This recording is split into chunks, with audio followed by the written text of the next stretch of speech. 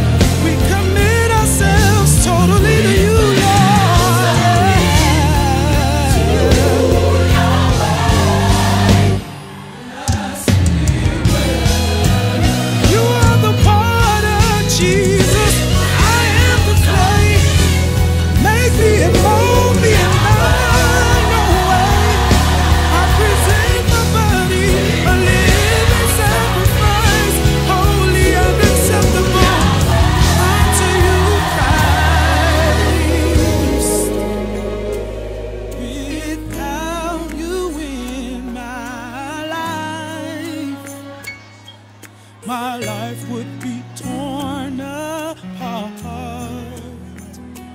Please render to me the oil of the Lord.